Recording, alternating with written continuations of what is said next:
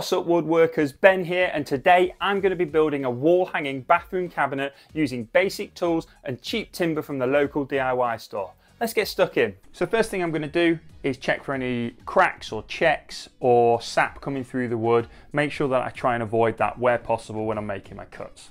And now I've done that, I just need to measure out for where I'm going to make my cuts. I'm using 144mm wide by 18mm thick boards for this project. Because I'm going to be cutting three long pieces and four short pieces, I went ahead and set up a stop block on my miter saw. I don't have any fancy T-Track stop block system on my miter saw station, so I just take a scrap piece of straight edge wood, in this case a scrap of plywood, and nail it to my workbench.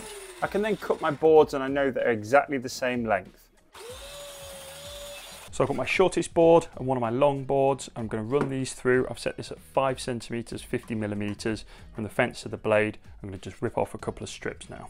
These thin strips will form the rails and stiles for my door frame.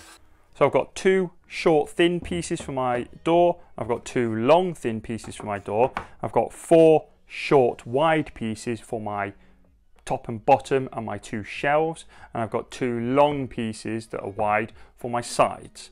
Next up I'm going to run a groove down the inside edge of my frame so that I can slot a back piece in. So I've set my router table up with a fence. I don't have a proper fence, I've just made one out of a straight edge that I've got. I put my 12.7 mil bit in, just gives you that little bit extra, and I ran a test piece through. Now you see, I've got two bits on my test piece. First time I did it, I had a 9mm bit in because for some reason I had in my head that I was using 9mm plywood, but I'm not, I'm using 12mm plywood. So that's a really good example of why you always use a test piece first. I've checked that this fits over my plywood now, and it does, it's a good fit. So now I'm gonna run my top piece, my bottom piece, and my two side pieces through here to give me the distance piece in the back that I need.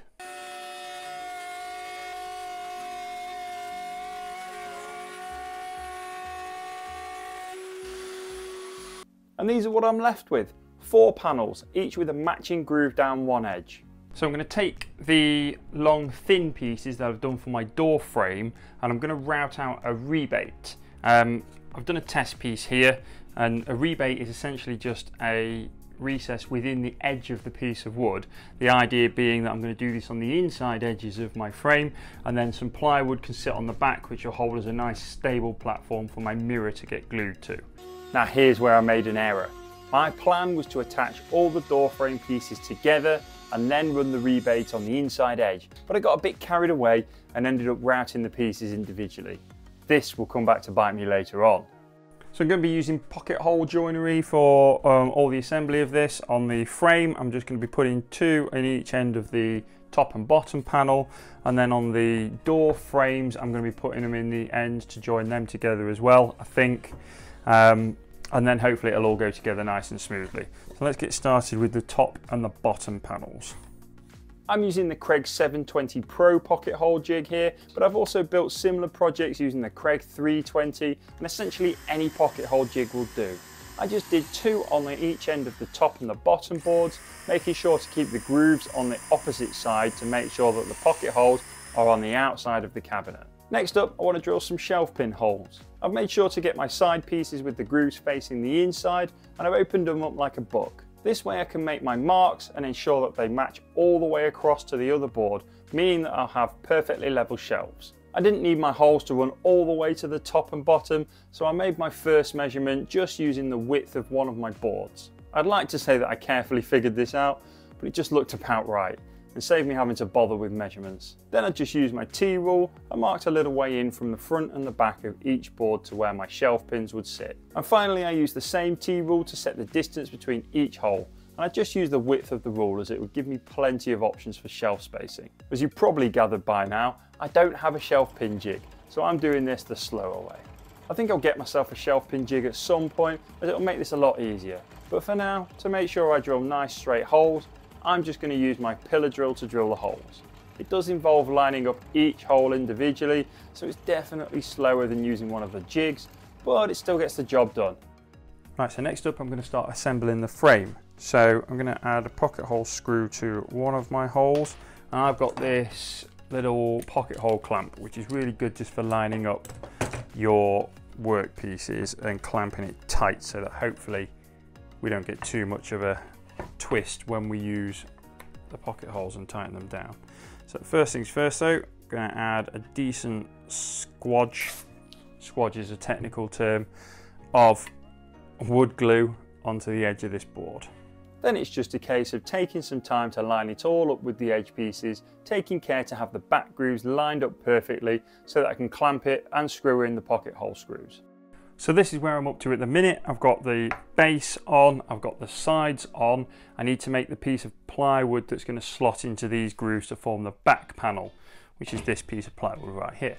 So I always like to do that after I've made it, just in case I make any changes along the way, but I haven't this time. So I've got this measurement here, which is 514 yeah, 514 millimeters.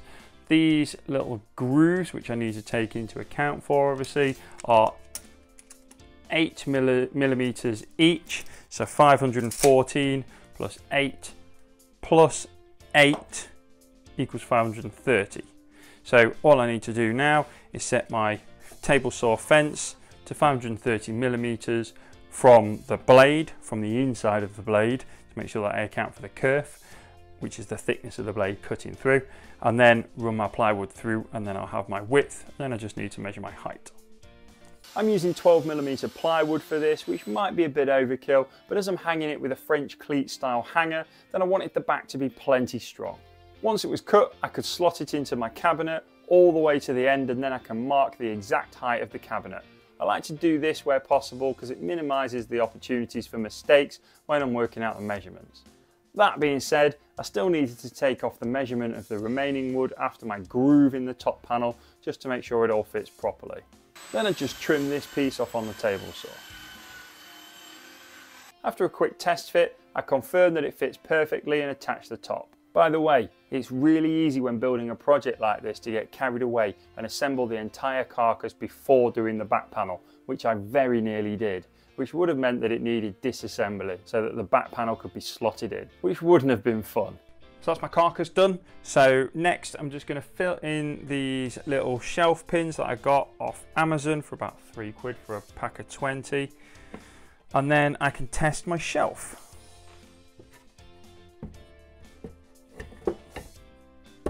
Cool. So now all I need to do is make a measurement on the front where I think roughly it needs to be. I'm going to recess it back just ever so slightly so that it's not touching on the door when the door shuts. Um, but I'll only do that by a couple of millimeters. Just eyeball it and then make the cut on the table saw. Now you could argue that if I'd drawn up meticulous plans for this ahead of time, then I could have cut all the boards to their exact width and lengths all in one go. But frankly, I prefer working like this and figuring things out as you go. And I believe you can learn a lot more doing it this way. And in all honesty, the amount of time it would take to draw out the plans and check the measurements, it'd probably take just as long overall. So I'm gonna cut the back piece, which is the French cleat. That's what's gonna hang the unit to the wall. So to do that, I've got a spare piece of the wood that I've been using, and I'm gonna cut it to size so that it's recessed in a little bit on both edges, just to give me a little play where I wanna hang it. Um, so I'm just gonna mark that out now, just very roughly and then cut that down on the miter saw.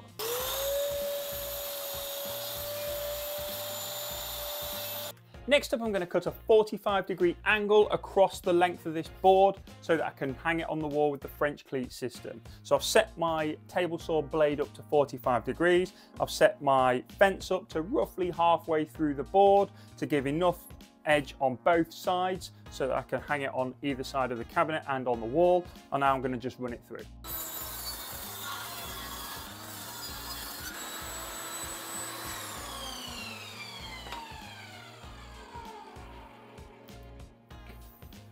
Now I tend to get a little bit of a leftover bit from the blade on here, so I'm just going to use a block plane to clean the rest of that off.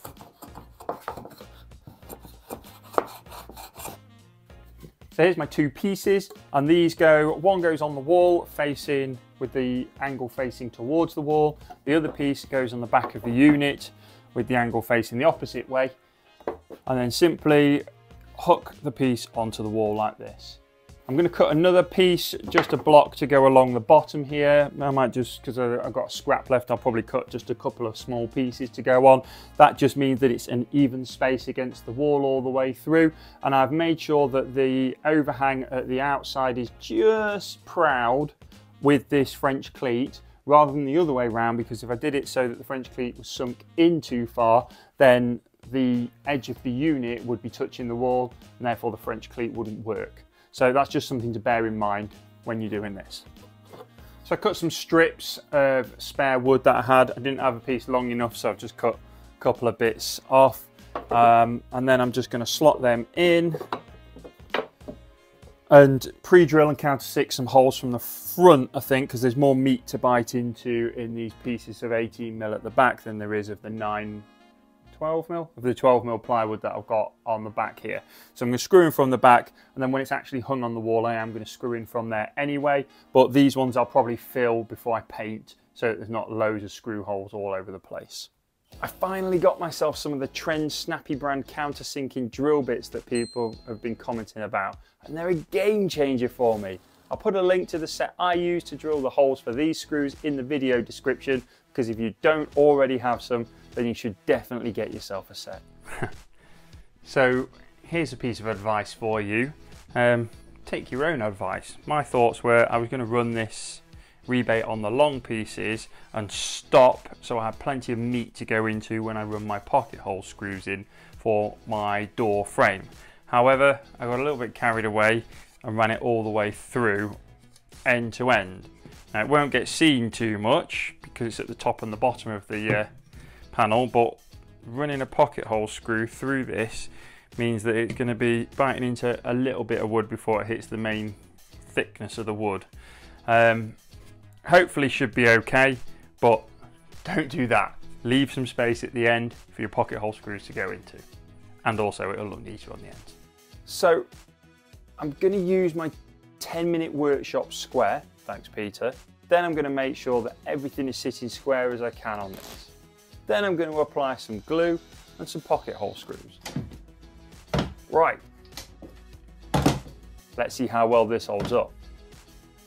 So it's chipped through quite a bit. You can see the screw, but actually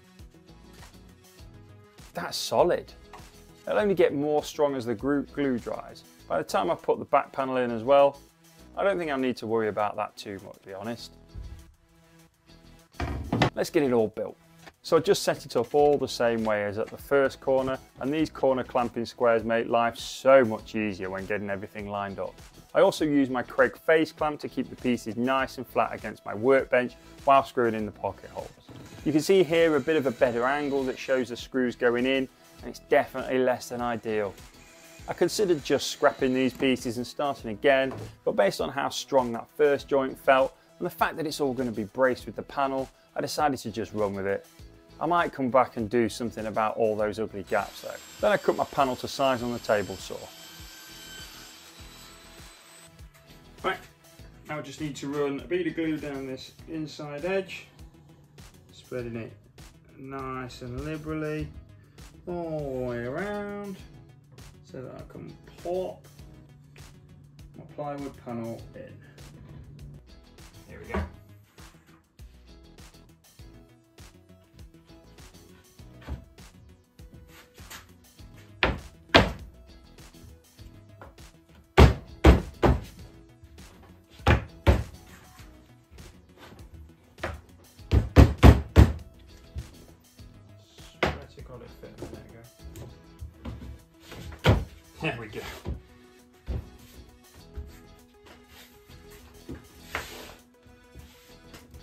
Happy days.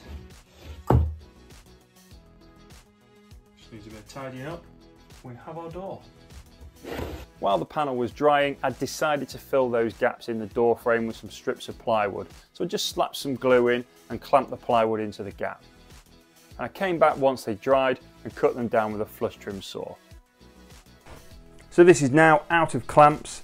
Uh, left it overnight to fully dry. And before I start attaching the hinges I'm just going to test the mirror. And it's about a quarter of a millimeter off. Um, the frame just seems to be slightly too small for it.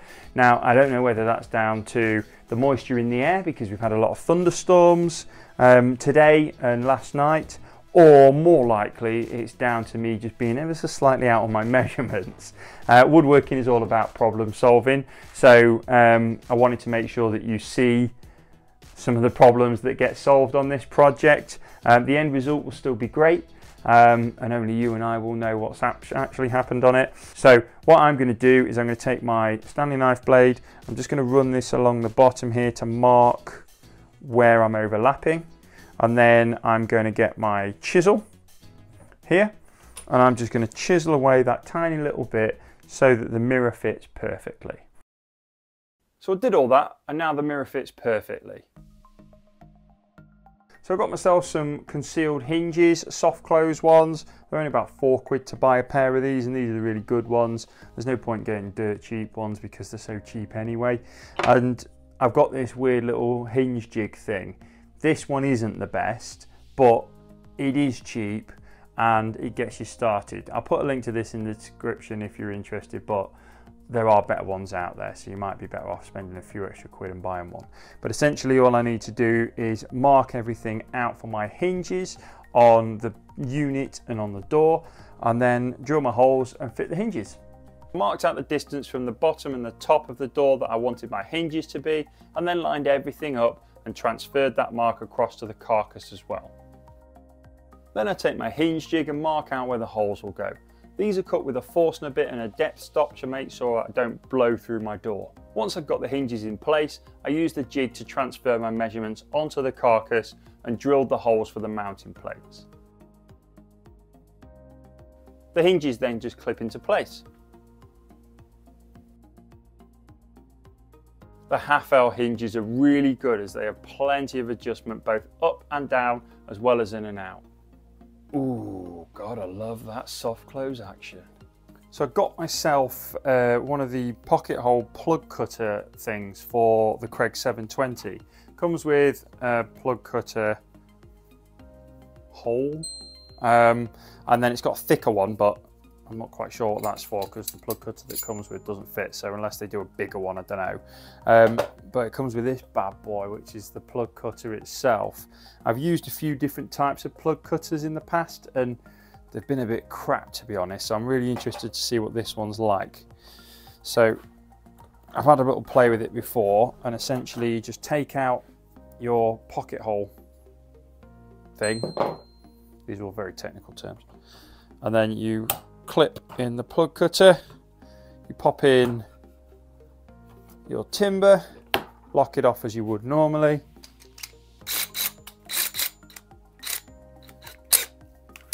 Lock your drill down.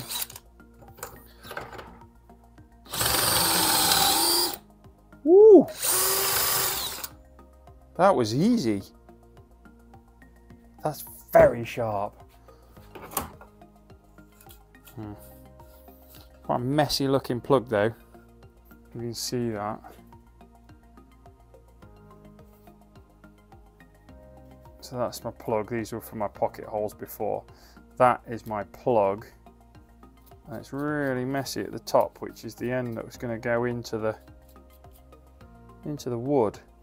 Right, so I've read the instructions and it actually says you need a slow feed rate to get it to work. So although it cuts really quickly and aggressively, it needs to go in slowly. So if we check this out,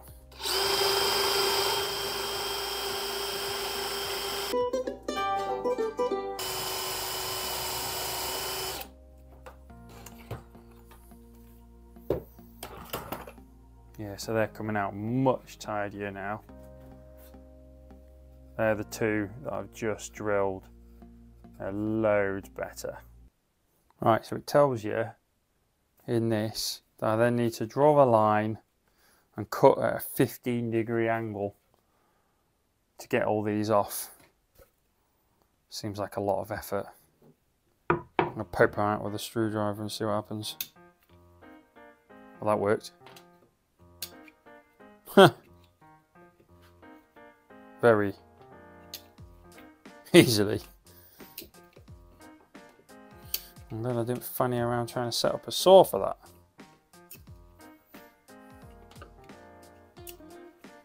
Ooh, this is fun. I'm enjoying this. Look at that. That is neat. I like that. Let's see how well it fits. Oh, that's going to be nice and snug. Get some glue in there before I put them in. I think I may have got a bit carried away with the glue, but they fit in really well. So next I just needed to give it all a good sanding and ran through the grits up to 120. So I've got this knotting solution. I'm going to run it over all the knots prior to painting because if you don't, sometimes you'll find that knots will leak through the paint and ruin your paintwork further down the line once you've had it up for a few weeks. So it's worth doing this pre-treatment now and then it's covered. Once that had dried, I painted the unit and all the components with a white bathroom appropriate paint using my DIY spray booth setup. I've got this Gorilla brand max strength grab adhesive in crystal clear. So I'm going to use this for it. It says it's 100% waterproof, works on glass, bathrooms, that kind of thing. So should be fine. And it's got a 30 minute working time. So hopefully plenty of time for me to get everything in and sorted correctly. So first thing I need to do is just make sure there's no dust or anything that's settled on this.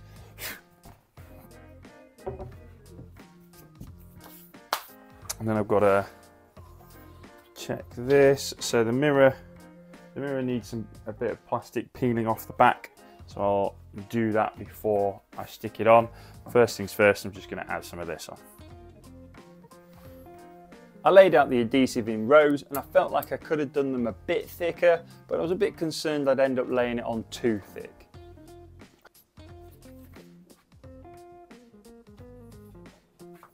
I just pressed it all down and left it to go off.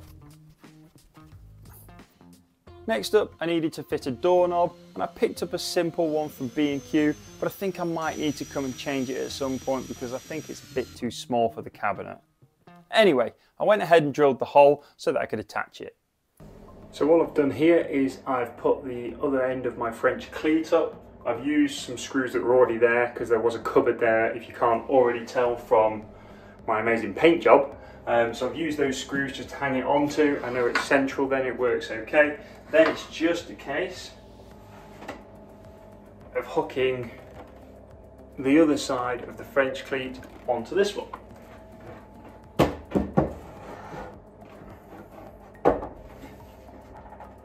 Then you can adjust it side to side as you need to to get it level. Happy days. Now all I need to do is screw in through those joining plates just to make sure that it doesn't come off because it can pull. Um, and then I'm going to attach the doors and we'll call it done. I made sure to screw into the French cleat and wall just to really secure it all in. This is a bit of a belt and braces approach, but that door with the mirror on is pretty heavy, so I want it to be more secure. Now that's the unit on. Now to fit the door, which is just a case of clicking these hinges back in place and we should be good to go.